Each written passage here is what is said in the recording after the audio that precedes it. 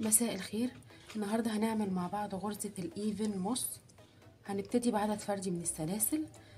تاني آه، سلسلة من الإبرة هنعمل غرزة منزلقة. الغرزة اللي بعدها هنعمل half double أو نص عمود.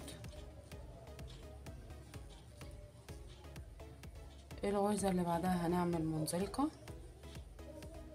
وبعدها نص عمود. وهنكرر بنفس الطريقة لغاية آخر السطر.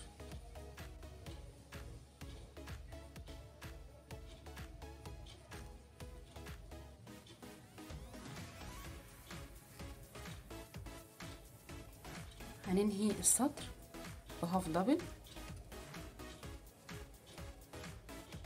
نطلع الدور ال- السطر التاني. نعمل سلسلة نلف الشغل. هنعمل أول حاجة slip stitch أو منزلقة وبعدين half double أو نص عمود. نكرر slip stitch half double